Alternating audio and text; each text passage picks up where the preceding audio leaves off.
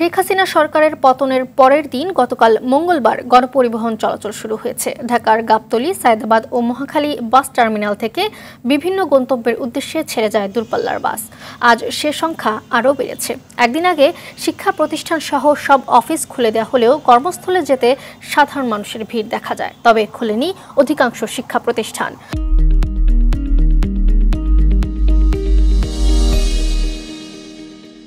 রাস্তায় ট্রাফিক নিয়ন্ত্রণের দায়িত্ব পালন করছেন আনসার সদস্যরা। এছাড়া গতকাল খুলে দেওয়া হয়েছে এলিভেটেড এক্সপ্রেসওয়ে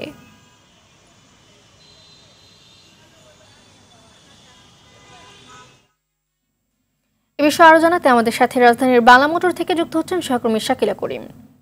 শাকিলা পথে ঘাটে সাধারণ মানুষের ভিড় কেমন দেখতে পাচ্ছেন আর বর্তমান পরিস্থিতিতে তাদের প্রত্যাশা কি? কি বলছেন তারা?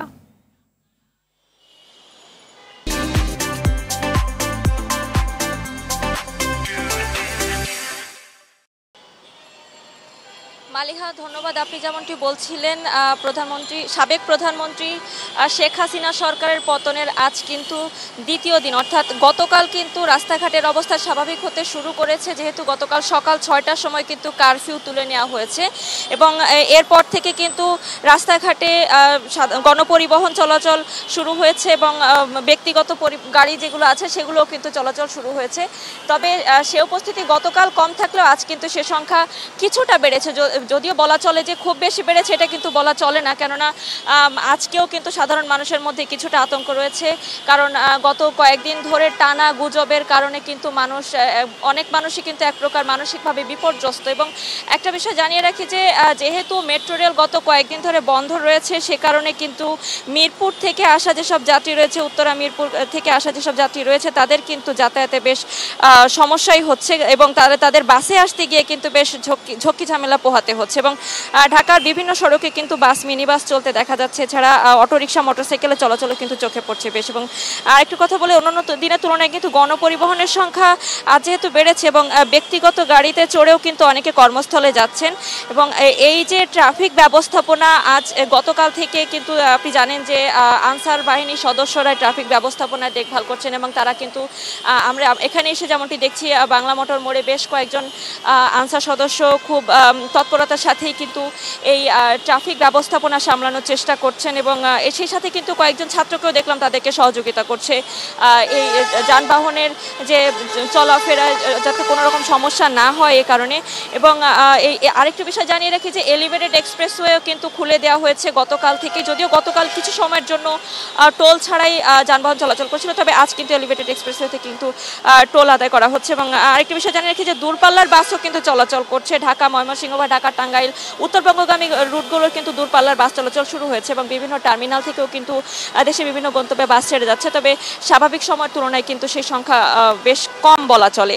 এবং দেশের পরিস্থিতি স্বাভাবিক ফিরে আসায় কিন্তু আপনি যেমনটি জানতে চাচ্ছিলেন যে আসলে পথচারীরা বা সাধারণ মানুষ কি বলছেন, তারা কিন্তু স্বস্তি প্রকাশ করেছেন এবং আরও আর দ্রুত যাতে এই অচল অবস্থা, মোটামুটি অচল অবস্থা থেকে সচল অবস্থায় ফিরে যাওয়া যায়, যাতে দ্রুত অর্থনীতির চাকা সচল হয় বা সাধারণ মানুষের দৈনন্দিন জীবনে যে স্বাভাবিক চলাফেরা, সেটাও যেন স্বাভাবিক হয় এবং ঢাকা যেন আসলে ফিরে পায় তার চিরচেনা রূপ সেটাই কিন্তু তারা প্রত্যাশা করছেন এবং দূর থেকে যারা ঢাকা শহরে ঢাকায়, যারা ঢাকার বাইরে থেকে যারা এখান, ঢাকার ভিতরে অফিস করেন, তাদের কিছুটা সমস্যা গতকাল হলো, তারা যেমনটি বলছিলেন, আজ কিন্তু তেমন তাদের চলাফেরা করতে তেমন একটা সমস্যা হচ্ছে না, যেহেতু দূরপাল্লার বাস চলাচল করছে এবং বাসে বা রাস্তাঘাটে কোনো ধরনের কোনো বিশৃঙ্খলার ঘটনা এখনও পর্যন্ত কিন্তু ঘটেনি, সে, সেই কারণে কিন্তু তারা বেশ স্বস্তি প্রকাশ করেছেন।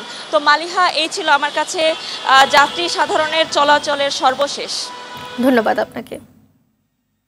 এই বিষয়ে আরও জানাতে চট্টগ্রাম থেকে সরাসরি যোগ দিচ্ছেন সহকর্মী সাফুল মাহমুদ। সাইফুল চট্টগ্রাম মহানগরীর কি পরিস্থিতি দেখতে পাচ্ছেন আর শিক্ষা প্রতিষ্ঠানগুলোর কি অবস্থা? বিস্তারিত জানাবেন আমাদের। যে মালিহা যেমনটি বলেছেন, আসলে চট্টগ্রামে সরকার পতনের পর দিন দিন স্বাভাবিক হতে শুরু করেছে। বিশেষ করে গতকালকে থেকে কিন্তু শিক্ষা প্রতিষ্ঠান খুলেছে এবং সেই সাথে অফিস আদালতও খুলেছে। যদিও শিক্ষা প্রতিষ্ঠানের উপস্থিতির সংখ্যা কিন্তু কম, আমরা বেশ কয়েকটি শিক্ষা প্রতিষ্ঠানের প্রধানের সাথে কথা বলেছেন, তারা জানিয়েছেন আসলে গতকাল কোনো কোনো ক্লাসে শিক্ষার্থীর সংখ্যা ছিল চার, পাঁচজন। ধারণা করা হচ্ছে আজকে হয়তো উপস্থিতির সংখ্যা বাড়বে। তবে চট্টগ্রাম নগরীতে গণপরিবহনের চলাচলের সংখ্যা বেড়েছে এবং একই একই সাথে চট্টগ্রাম থেকে দূরপাল্লার যে যাত্রীবাহী বাস আসে সেই বাসগুলো চট্টগ্রাম ছেড়ে যাচ্ছে এবং বিভিন্ন গন্তব্যস্থল থেকে চট্টগ্রামে আসতে শুরু করেছে এবং সেই সাথে চট্টগ্রাম বন্দরের পণ্য পণ্য নিয়মিত উঠানামা করছে এবং বন্দর থেকে পণ্যবাহী ট্রাকগুলো বিভিন্ন গন্তব্যে যাচ্ছে। দেশের সবথেকে বড় ভোগ্যপণ্যের বাজার খাতুনগঞ্জেও কিন্তু নিয়মিত মাল আসছে এবং বিভিন্ন বিভিন্ন জায়গায় কিন্তু মাল যাচ্ছে। এবং চট্টগ্রামে অফিস আদালত খুলেছে, যদিও অফিস আদালতে উপস্থিতির সংখ্যা কিন্তু গতকালকে কম ছিল। ধারণা করা হচ্ছে আজকে হয়তো উপস্থিতির সংখ্যা বাড়বে এবং একই সাথে চট্টগ্রামে ছয় শতাধিক গার্মেন্টস রয়েছে। গতকালকে কিন্তু এই গার্মেন্টসগুলি খোলা হয় নাই। আজকে এই গার্মেন্টসগুলোকে খোলা হবে বলে ধারণা করা হচ্ছে এবং এই ধারণা না, আসলে এই গার্মেন্টসগুলো আজকেই খুলবেন বলে জানিয়েছেন বিজেপির পক্ষ থেকে এবং যারা গার্মেন্টস ওয়ার্কার আছে তাদেরকে কাজে যোগ দিতে বলা হয়েছে বিজেপির পক্ষ থেকে এবং চট্টগ্রাম নগরীর বিভিন্ন মোড়ে মোড়ে কিন্তু সেনাবাহিনীর টয়েল দিচ্ছেন এবং একই সাথে ট্রাফিক ব্যবস্থা নাই বললে চলে, সেই ট্রাফিক ব্যবস্থার কাজ করে যাচ্ছেন শিক্ষার্থী এবং আনসার সদস্যরা।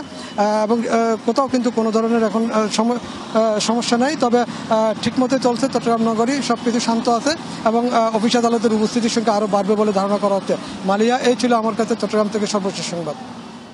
ধন্যবাদ আপনাকে।